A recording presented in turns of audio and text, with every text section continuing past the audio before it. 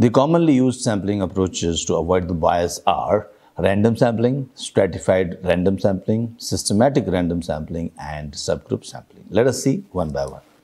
Before I talk about the sampling approaches, let us see when to use which approach. Uh, sampling approach of random sampling and stratified random sampling is usually used for uh, generating a sample from a population. Systematic sampling is usually used for population as well as process, and subgroup sampling is uh, for uh, a process, especially if, if you're manufacturing something in bulk or you're processing some items in bulk, then in that case you'll be using the subgroup sampling.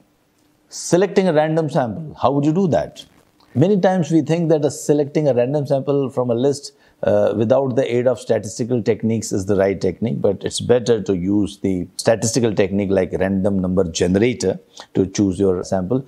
Although it looks like a, a very simple technique, but it's a little bit sometimes difficult to execute.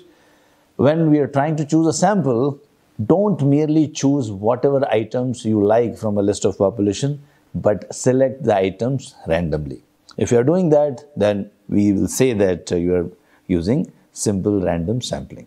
Stratified random sampling means you stratify the data based on the categories of a particular X factor which you are trying to study. So, for example, if you are trying to uh, study the productivity in an organization and if you feel that the productivity is affected by the shifts like morning shift is uh, producing more and evening shift is producing little less and night shift the productivity is very low. So suppose you suspect the variation of productivity due to the shift then you can stratify the data. Means you'll collect 20 samples from morning 20 from evening and 20 from night shift. Similarly if you feel that the cycle time is affected by the location of your office suppose you have got uh, uh, three offices in three cities and you feel that the cities, the, the, the location is uh, one of the root cause of uh, the higher cycle times. In this case, the factor is the city, and you have got different categories of city, uh, city A, city B, city C. So I would use here stratified random sampling means I will stratify my data my cycle time data as per the cities. So I'll collect a few samples from city A, few from B, few from C. So random sampling from the group as a whole would tend to represent a proportional amount of each group, but stratified random sampling ensures it. Stratified random sampling is appropriate when a large group has distinctive subgroups that you want represented in your sample. It also ensures the sample represents each group in the same proportion as the population. So in short, stratified random sampling means randomly sample a proportionate number from each group. Systematic random sampling. Systematic sampling selects items according to a pattern rule. You determine the pattern rule based on your process knowledge and sampling needs. Uh, some population example could be stop every 10th person entering a store and ask, uh, Why do you shop here? You ask the 10th patient entering into a hospital uh, about the opinion, about the attitude of the staff of the hospital. A process example could be in a bank, suppose you are trying to estimate the uh, account opening time. So you sample every 10th uh, account opening request received from the customer.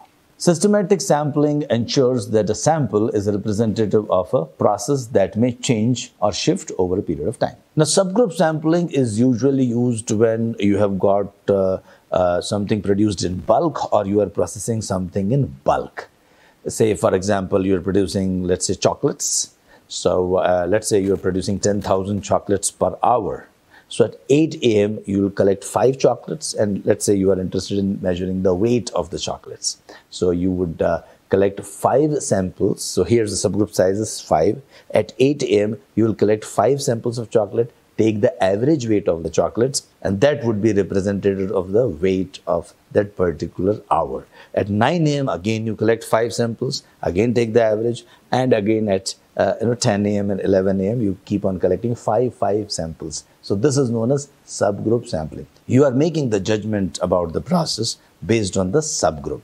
So you are calculating the average weight of those five chocolates and making a judgment about the performance of the process. So this is known as subgroup sampling. Uh, we will be using X bar R chart later on in the control phase and that time we will require a good understanding of subgroup sampling technique.